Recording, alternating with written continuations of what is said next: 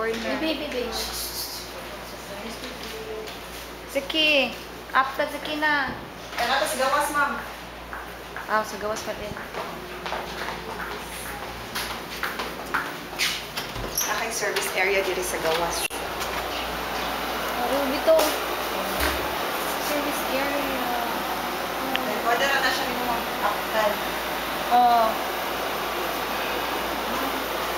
Okay. Na. Years old siya. One. One? Oh, dako. Asang mahal? Magbutang. Ha?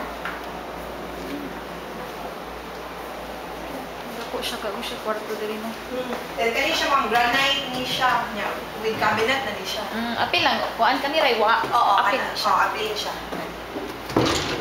Ay.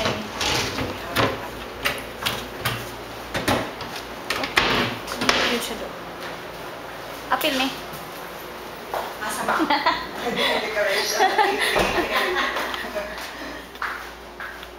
kani, Lisa.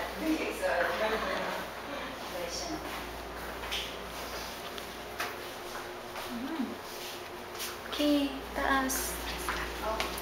Kala mo? Ano? Exercise. Then mauna siya ang master's bedroom. Kani siya. Ay, hindot siya. Hindot lagi do. Hi, baby. Ra siya. Then toilet and bathroom sa master's bedroom. Chin. Medyo matanaw ani ba? Then mo ni siya yung veranda. Oh, kualis sa siya. Entrance pa siya. Entrance garden. Okay. Yeah.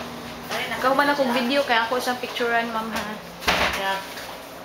Zaki. Asa mang room ni Zaki? Ha, ari ka dali dyan. Ha? Room sa toys di ay.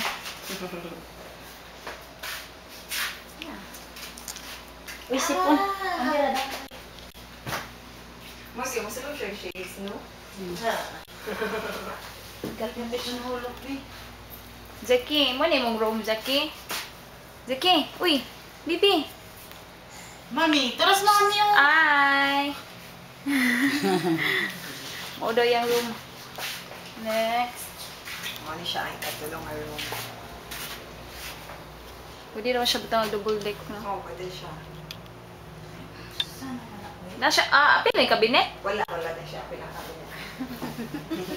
Okay. Yung umasag yun. Apilon ka na.